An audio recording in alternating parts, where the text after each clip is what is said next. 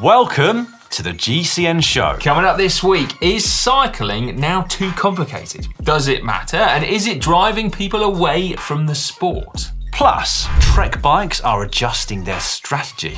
Which seems strange, doesn't it? That it's taken them 20 months. You can film a music video in an indoor velodrome. I have remembered a specific example. Go on. Uh, Tinder. I beg pardon? I can't imagine anyone getting pulled over for the wrong colour light on a bike. Well, I don't know, mate.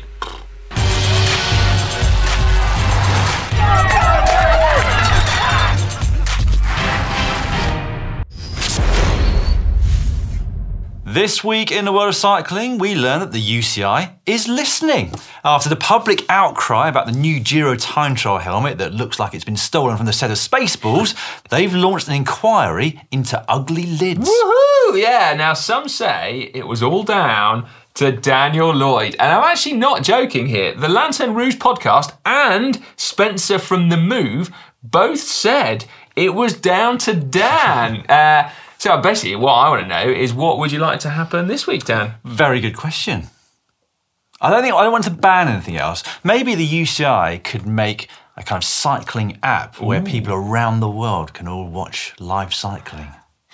I think that might be a bit too Might be soon. a bit too that, soon, mate. Yeah, it does. I think we're still a bit sore. right, we'll have more on that UCI situation in just a few moments. Uh, we also learned that you can film a music video in an indoor velodrome. We did, yeah. Here is French singer Pierre Danet with Carry On. Carry on, carry on. I miss you so much when you're gone. Now, gotta say, Dan, he looks pretty comfortable riding on a velodrome at 45 kilometres an hour whilst singing. He does, but I couldn't help but notice he's only playing his guitar while he's on the indoor trainer That would be impressive, riding a guitar on the banking. at 45 k's an hour. So yes. riding a guitar, playing a guitar, riding a bike. Um, I did actually ask why he filmed it in a velodrome. Yeah, and? Uh, well, it's actually really cool. Um, so he loves riding, he says, and has got properly into track cycling. But the reason why he's filmed it in a velodrome is because, and I quote, Carry On is a song about the difficulty of moving forward in life after the loss of a loved one. And then it struck Pierre while training at the track that it was kind of ironic that even though he's riding faster than ever, his GPS data showed that he was basically staying in the same place, according to Strava. So there you go. Uh, incidentally, you can find Pierre Danet on Spotify as well as YouTube. I just like the GCN show, in fact, these days, just to remind you all.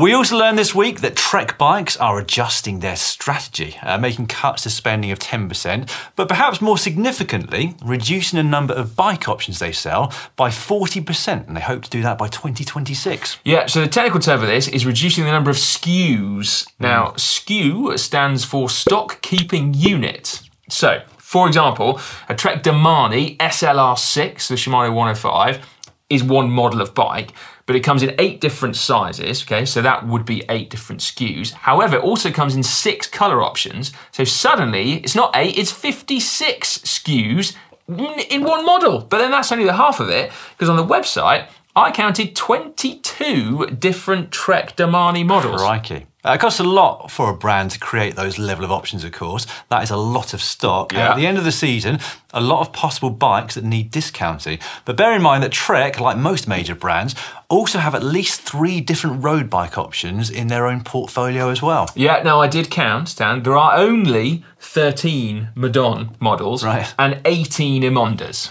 But that does make things easier. Then, It does, doesn't it? Yeah. So just the 53 different road bikes to choose from Yes. then, each with up to 56 SKUs. Yeah, plus the e-bikes Yeah, plus the e-bikes. and the gravel bikes.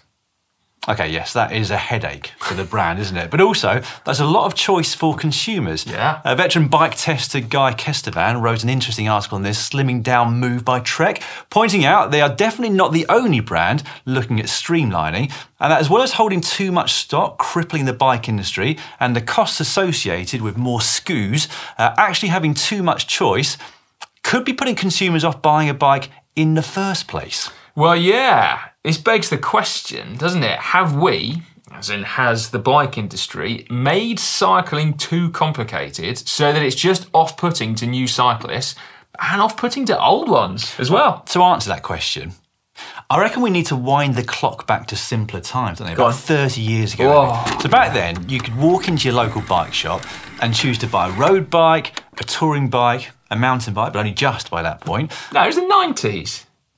30 years ago. Well, yeah, I guess so, yeah. Like your time flies, isn't it? Uh, I guess you could also get a BMX bike Yeah. and maybe a shopping bike You of get a shopping bike for sure, yeah. So five different bike options, basically, which is the same number of drop handlebar bike options from a single brand Yeah. now. Um, so I can absolutely see how it would put people off. I actually, in parallel to this, I suffered from consumer paralysis just yesterday. Okay, um, there was so much choice when I was looking for a cordless drill driver that I actually didn't end up buying one for fear of getting it wrong. Crikey. If anyone could help Si choose a cordless drill drive, I'm sure he'd very much appreciate it. Yes, I would. Yeah, I would like the kind of um, the kind of drill that's a bit like a gravel bike. I was thinking, Does yeah, so an all? all-rounder capable of like rugged, dusty drilling and driving jobs, as well as like smoother, cleaner stuff. Mm, well, good luck with that. Thanks, mate. I do wonder, Si, whether the issue is less about the choice available than the choice of reviews that you can find, Wow. plus information that recommends you products as you found.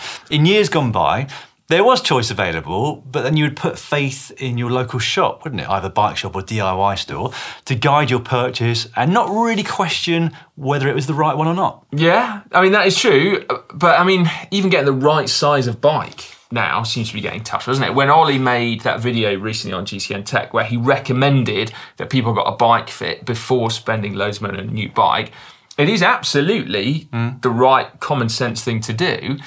But I think that's a fairly recent phenomenon, isn't it? I don't Yeah. remember people getting bike fits before buying new Bikes. No, I think you're right. And actually, I was thinking about this the other day. Uh, Giant, incidentally, well, not incidentally, actually, No. we'll get onto the point in a second, they launched a new version of their venerable TCR road bike. It's now the 10th generation of that bike, which revolutionised the industry nearly 30 years ago. And part of the reason was it promised to simplify sizing and reduce the number of SKUs. I think it's a skew. SKUs. I mean, I don't know, but uh, you know, I'm sort of like, Yeah. I think that I think I remember something. Anyway, I'll, I'll go with you. yeah, SKU. yeah.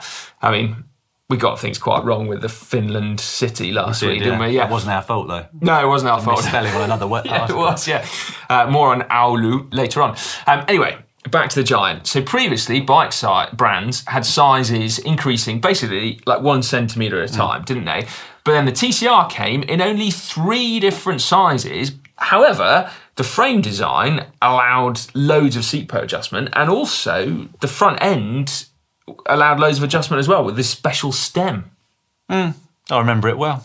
But we do now seem to have gone back to the bad old days, haven't we? Well, yeah, certainly on some more expensive bikes, it's really hard to adjust the front end Yeah. at all, isn't it? And so I can see why making buying bikes harder is not a good thing for the bike industry.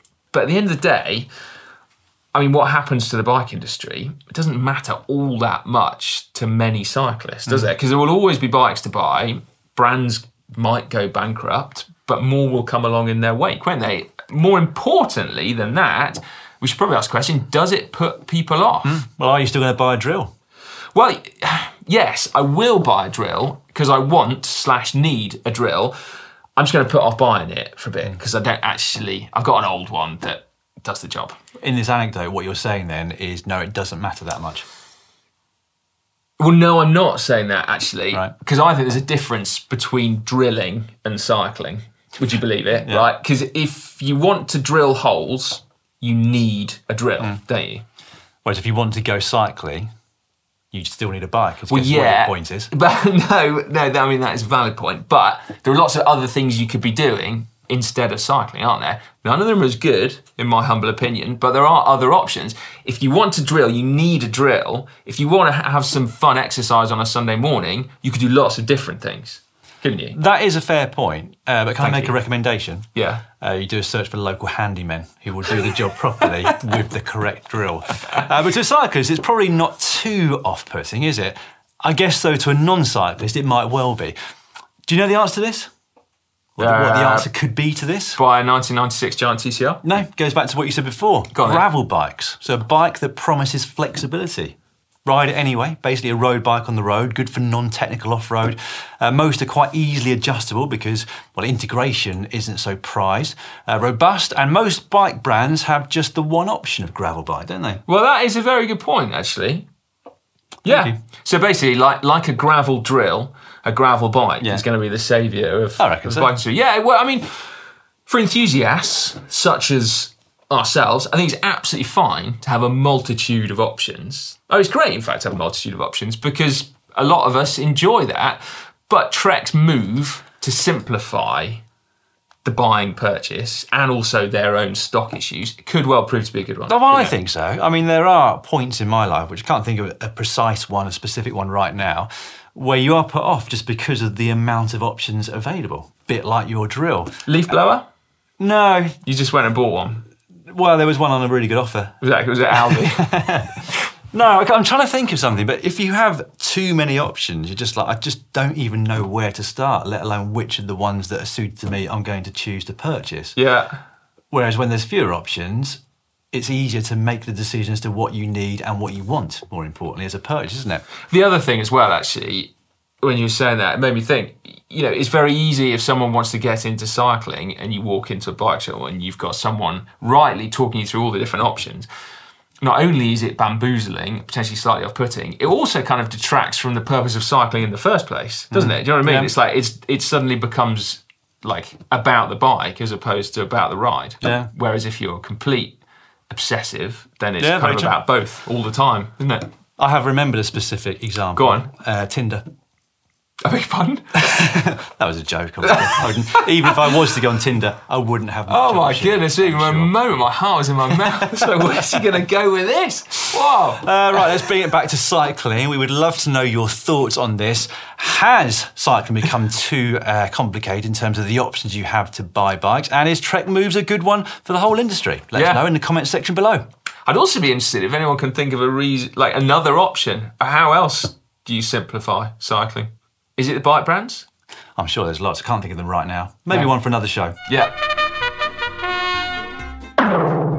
And now it's time for cycling shorts. Cycling shorts now, and we're going to start with more of an update into that new Giro Hammerhead. Actually, it's not called a Hammerhead, is it? What was it called? The Aerohead helmet that looks like a Something along those Hammerhead. lines, yeah. yeah, all kicked off last week, didn't Did, it? yeah. In the aftermath of the new helmets, not only launched by Giro, but also Rudy Project, uh, the UCI released a statement later last week saying that they would be banning the specialised head socks and nothing to do with the two that were just released. Uh, that's the uh, one that looks weirdly reminiscent of a condom. I don't know why, because I mean, technically it doesn't really. But anyway, it's the one that Quickstep and Bora have been using.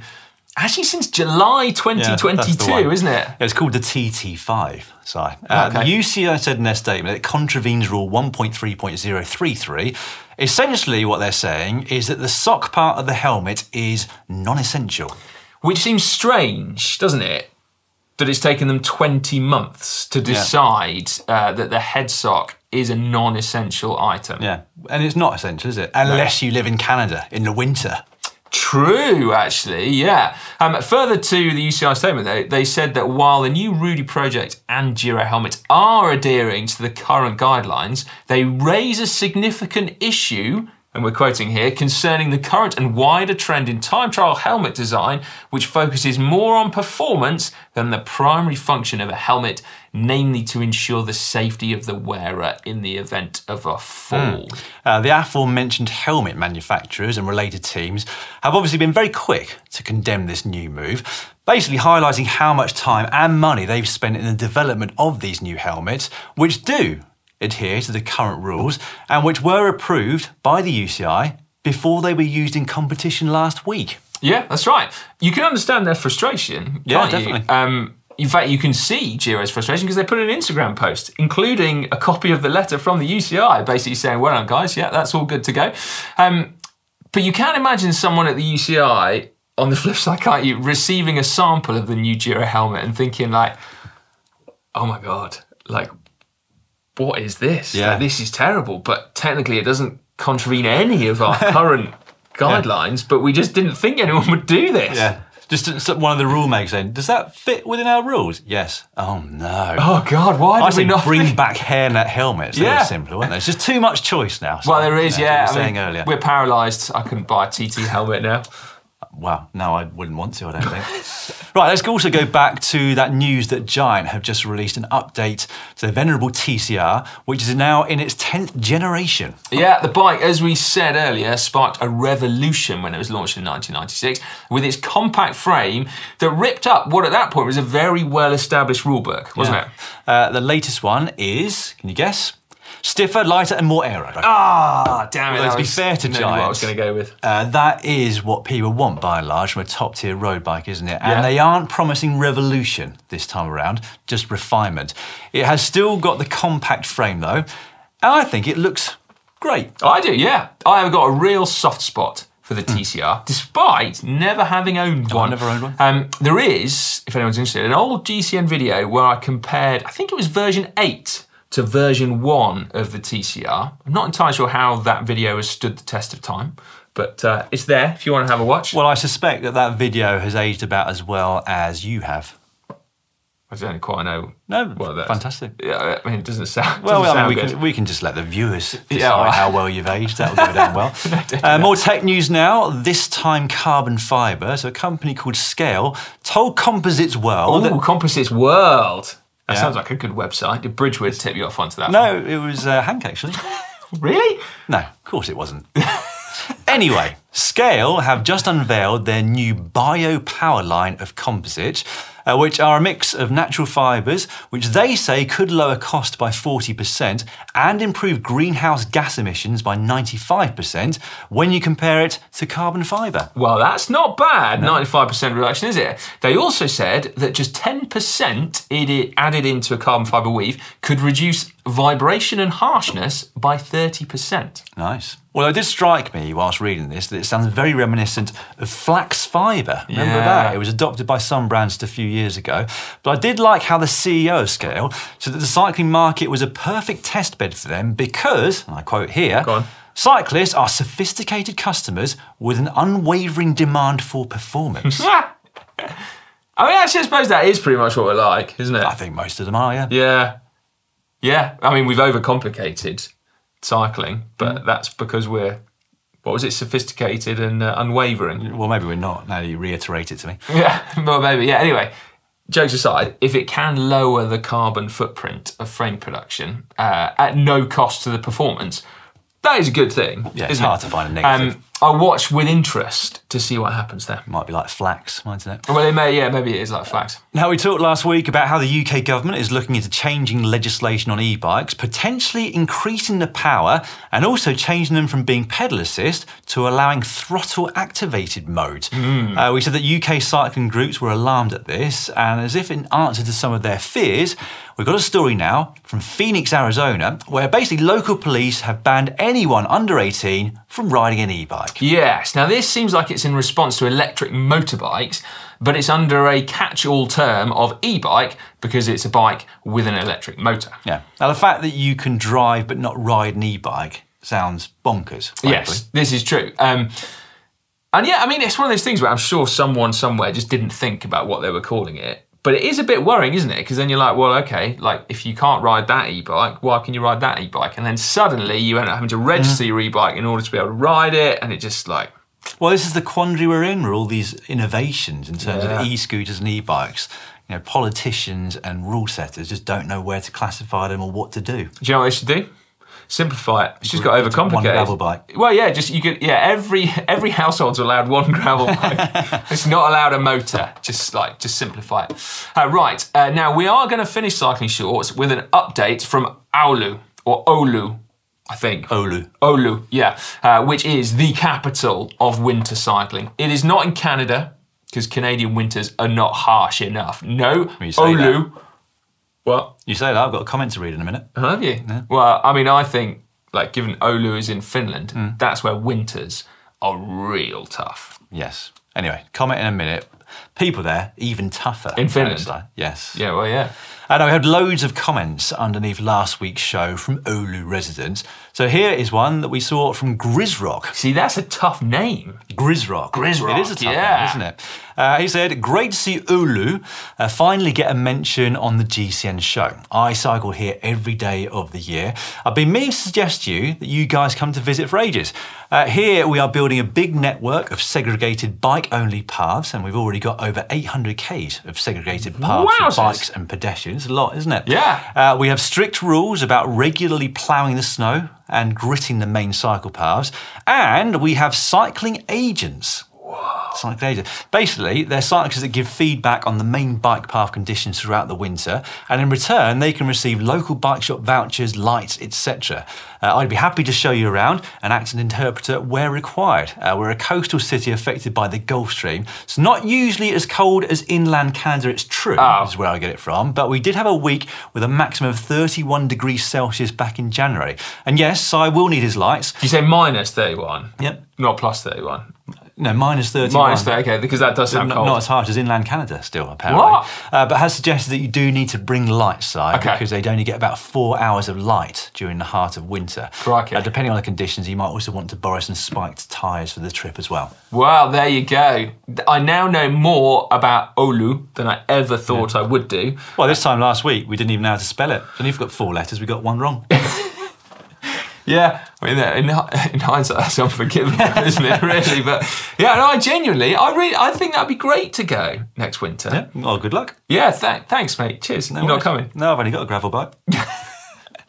No, gravel bike would be perfect. All right. You put studded tyres on it. Yeah, no. Yeah.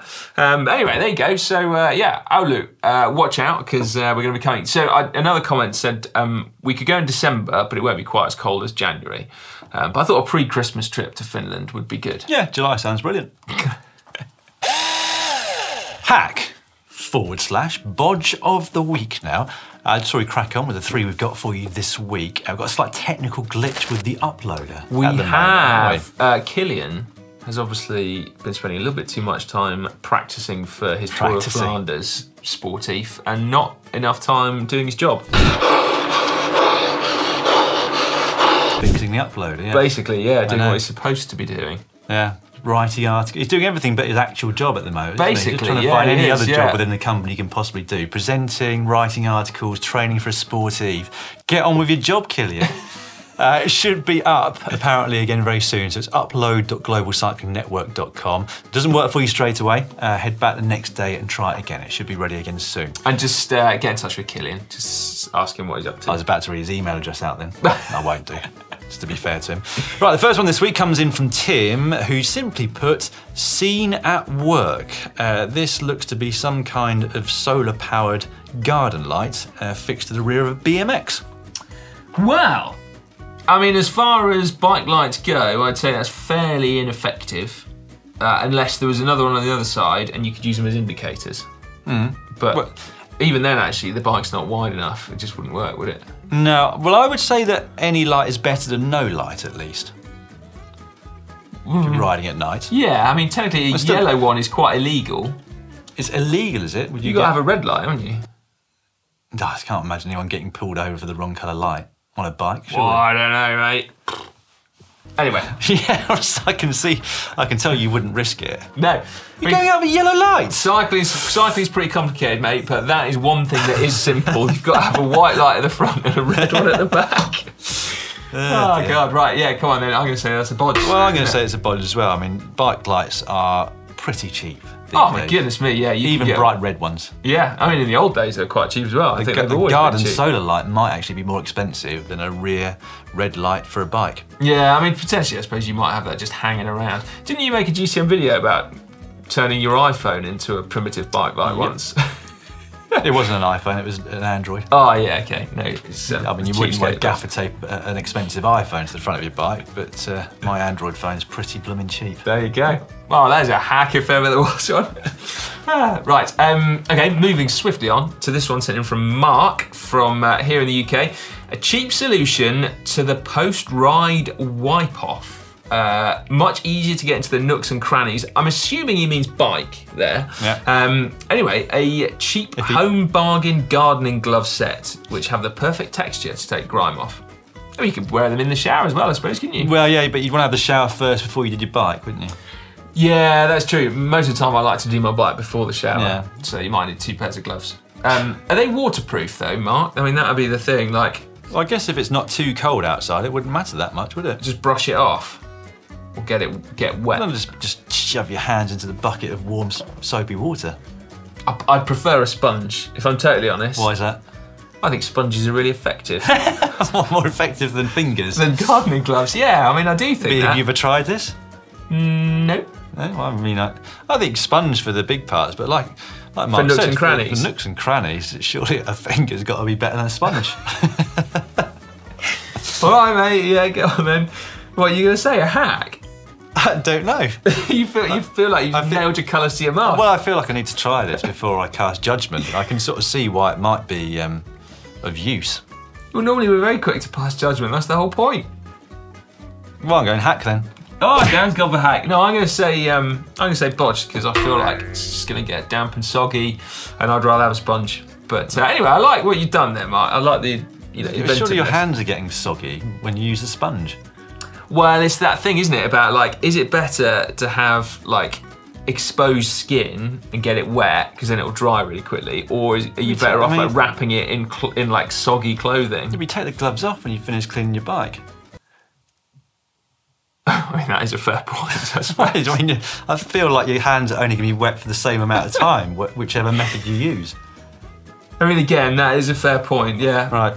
Well, you're saying bodge, I'm saying hack. That one, strangely. I'm going to regret that, I think. Uh, Yeah. the final one this week comes in from Aiden, who said, trying to shave four watts off at 50 kilometres per hour over 40 Ks. I like the fact that you've used the Huggies nappy box. oh, we haven't been well describing them, have we?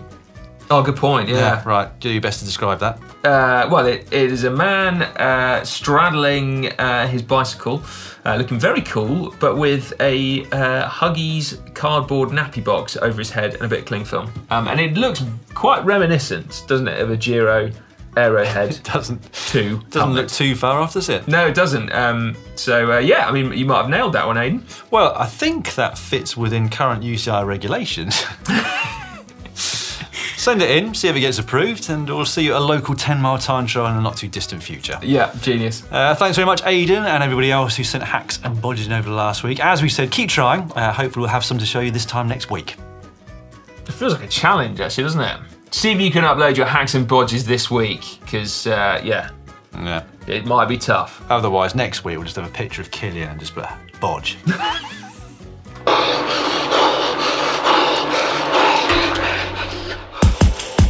It's time now for Caption Competition, that part of the show where you get a chance to get your hands on a coveted, really coveted GCN CamelBak water bottle. Um, still no arrival yet. I gathered. Yeah, from uh, of the new GCN branded CamelBak bottles. Imagine how pleased we'll all be then when they do, they do arrive, though. Oh, they're going to be amazing. It's nice in the modern world to have to wait for something, isn't it? Very good point. That's a positive spin. It, mate. Yeah. Always Uh, here, mate. Always here. Yeah. Uh, right then. Anyway, uh, you know what the aim of the game is. If you don't, uh, you've got to put a witty caption in the comment section down below that uh, relates to a photo we'll give you in just one second. But to get your eye in, we'll do results from last week. Uh, this was last week's photo of Jonas Vingegaard in the individual time trial on day one of Tirreno Adriatico, complete with brand new Giro time trial helmet. Our winner this week is Rob Chastain, who put caption: "Somewhere a beauty salon is missing its hair dryers." they are that sort of size. They aren't. You don't see them many uh, much anymore, do you? Or is it just me? Do I not go past many hair salons with those? Huge... No, I think I, I feel like it was um, wasn't it for perms? How was You it? used to get a lot of. Um, I used to get a lot of old ladies sat in there Yeah, maybe. for like hours on end. Get, getting I mean, it's so long ago that those old ladies are probably younger than we are now. Boy, I mean, those particular old ladies wouldn't be, but uh, I know what you No. mean. Yeah. Uh, well, perms are coming back in, aren't they? so I'm told. Are they really? Well, that's good for you, mate. Yeah, it is, yeah. Uh, right, this week's photo, I'll get in touch with this on Facebook, uh, Rob, and we will get that postal out to you if you send us your address. This week's photo is from the final podium of Tirreno Adriatico. Uh, no prize for guessing that Jonas Vingegaard won the overall classification if you didn't watch the race. Uh, on his right is Jai Hindley downing a bottle of Prosecco. In the middle is the winner, Jonas Vingegaard, downing a bottle of Prosecco. And to the left of the photo, we have second place Juan Ayuso, who appears to be waiting. I will get you started. Juan Ayuso regrets giving the other two a head start at the World Prosecco Drinking Championships. That's all right, isn't it? That's not too bad. Steady. I mean, you might have finished it already. You might be doing him a disservice. He might have just yes. necked that entire bottle of Prosecco. Yeah. Uh, Juan Ayuso becomes new Prosecco drinking world champion. Yeah. There you go. Uh, either one of those uh, should be fairly easy to beat. Um, get involved in the comment section down below, and we will pick out a winner next week who may be the first one to get a GCN Yeah. I mean, it's got they've got to be coming anytime soon now, haven't they? They really should be here by now. Otherwise, it's probably Killian's fault. Should we say? Yeah, well, definitely. I'm pretty sure it's Killian's fault. Just before we let you know what gold we've got coming up for you on GCN this week, a few comments. Uh, starting with three underneath last week's show. Uh, Bike Tribe 7071, but if Ollie won't wear it, the UCI should ban it. That seems like a clear litmus test. That is a very good point, actually, Bike Tribe. I mean, uh, yeah, because Ollie will try most things in the He quest would for try. speed. it. I don't actually believe him. Well, they wouldn't wear one. Yeah. Yeah, that's true. Actually, Hmm. you would put it on and be like, "Oh, I've just you know, like just testing it out." Yeah, you know. yeah. No, good point. Um, but but in principle, I think Bike Tribe is right. Uh, Griffith D said, um, "In my opinion, time trialing is like the F1 of cycling. There should be rules, of course." But keep the time trial stuff in time trials. Let them go crazy, but then don't let it bleed in to road races. Um, keep the two things separate. So uh, everyone can look like star troopers on time trial bikes, but then look like bicyclists for all the other stages. They're not bicyclists if they're time trialists. It was. Well, exactly. Yeah, separate species, aren't they? Pretty much. Uh, on a different subject, JB Gill wrote in saying, watching this episode from Toronto, Canada on March the 5th, where it was plus 15 degrees Celsius today and no snow in sight for over two weeks. Wow. We've had snow in sight in the last two weeks. And I'm not sure we've had any days that are over 15 degrees so far this year. No, we haven't. No, that is a good point. Well, sticking with uh, the uh, weather theme, yeah. uh, under the Zone 2 video that went up on Saturday, Wilson Rob said, Have you guys ever made a video on dry roads? Um, to which uh, Quest Giver Siradis said, Only when Manon tries to make a video about riding in the rain. Which, which is actually like it's ironic but true. Yes. Um, if if ever you want the weather to be good, just try and do something that requires rain, and uh, there you go. It'll Yeah. all dry up. We have had it was the wettest February ever apparently this Also year. the warmest, wasn't it? Yeah, it's a bit sad. It? Pressing on both fronts, really, isn't it? Yeah, well, Uh, yeah, not yeah. It's really bad. underneath high-tech city bikes. That was the first look at the new Orbea Diem. Uh, Bike Tribe wrote in more Si doing his bad dad dancing, please. That made my day. I don't think we need to see any more of that. I Quite friendly. I Um, agree with you, Si. That's uh, Bike Tribe's second comment of the week. So, uh, yeah, more of those, please. You're clearly on fire. Um, under the seven things we learned about commuting on an e bike, um, loads and loads of people getting stuck in there. Um, Randy Carey Walden said 22,000 miles on my e bike as a daily commuter, 10 miles each way, over five years. Bought a second battery two years ago. Sold my car. $160 annually for maintenance of the e-bike, $300 every third year for new tyres, etc. That is pretty cool. That's some serious mileage. That is a lot of miles, isn't it? Yeah, that is awesome. So uh, yeah, fair play, Randy. Uh, so- Simone Anelli wrote, For me, the best improvement in commuting by bike has been getting panniers and mudguards. Not having a backpack that weighs you down and causes back pain is fantastic. Uh, while slash 90 Ita, uh, Italia, I guess that is. Uh, this series of videos about the commuting is really appreciated. Keep it coming. Maybe a video on the best bag, backpack, etc. to use would also be useful. Yeah, well, uh, there are more cycling to work commutery videos coming up very soon. We've got one, I think, next week. And yeah, luggage is on the list Mm. of things to look at. So uh, so stay tuned. Um, and then lastly, uh, Kevin Hoffman said, uh, Matt, uh, who was in that video, laughing at me going up hills is pure joy. And that is what any ride should be. Um, and yeah, I think he genuinely was absolutely loving life, um, giving me a mega hard time. I'm sure he was. Yeah. Right then, coming up on the channel this week, we'll start with tomorrow, which will be Wednesday, if you're watching this show as it comes out on YouTube. We've got our big Milan San Remo preview coming out. So this Saturday, it's the first of the five men's monuments uh, in Italy, the longest of them all, of course, although it's slightly shorter this year. Is, Only yeah. 288 kilometres. And incidentally, if you've been wondering what these t-shirts are alluding to. It's a celebration of La Classicissima, uh, so the first monument of the year this Saturday, available at shop.globalcyclingnetwork.com. Uh, and whilst we're plugging ourselves, if you head over to globalcyclingnetwork.com, uh, you will see a big written preview as well as loads of other stuff in and around the race on the route to and through the day on Saturday.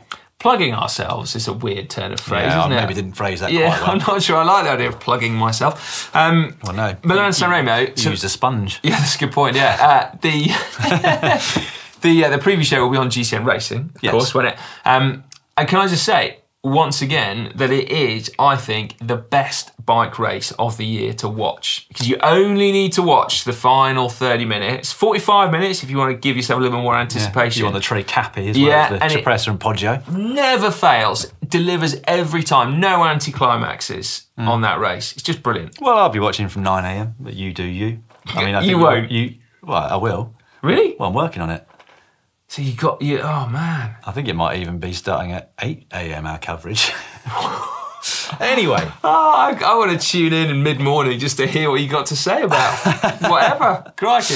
On Thursday, uh, as I alluded to earlier, it's cycle to work for beginners, everything that you need to know about commuting. And on Friday, uh, it's epic, epic climbs, if I can even get my words out. Uh, this episode is the Taiwan KOM. Yeah, Taroko Gorge. I think this is the one for the uh, the mega Taiwan KOM challenge. Um, then on Saturday, uh, Hank was appalled at the price of a train fare, so he went and bought a bike for less than the price of the train fare. Wow. And rode it to his destination instead, uh, which, to be fair to him, was over 100 miles. So uh, yeah, find out how Hank gets on. Also, to be fair to Hank, the price of a train fare in the UK is probably like a Trek Emonda with 105 in it these days. Basically, Crazy prices. Yeah, particularly if you travel first class, like you know, Like Hank like Hank does. Yeah, so. exactly. Yeah, uh, and then uh, on Sunday we've got a bit of a techie one here actually. Um, so tire width. What happens if you supersize your road bike tires? Uh, Pirelli have sent us uh, four P Zero Races, four, three P Zero Races, 26, 30, and 35 mil to find out. Uh, basically, we wanted to see whether the 35 is a penalty on uh, on good roads. So find out. Do fat tyres slow down? Yeah, I was going to say the penalty would only be speed, wouldn't it? Not comfort. Well, yeah, we are looking at speed in this, Okay, fair enough. but but you can get super comfy on a thirty. So it's like you know, but uh, anyway, wider is better. But is it? Basically, is what we're looking at. Right, well, I look forward to watching that on Sunday. That was quite a succinct description, wasn't I it? I might watch that uh, at some point during Milan San Remo. Well, you should, because then If you guys could talk about it in the race, because you'll be a bit like, so, you know, I've been going for six, like four hours, not much is happening. Yeah. Well, actually, guys, uh, tyres, really interesting one today. Uh, it'd oh, he looks a bit uncomfortable. Must be on 26s, I think. No one will be riding 26s. No, Listen, no, they're not. No way. Uh, right, that's all for this week's uh, show. Don't forget to catch uh, the Milan San Remo preview show tomorrow and the last 45 minutes we would recommend of the race this coming Saturday if you have a subscription to somewhere where you can watch it. Uh, we will see you again this time next week.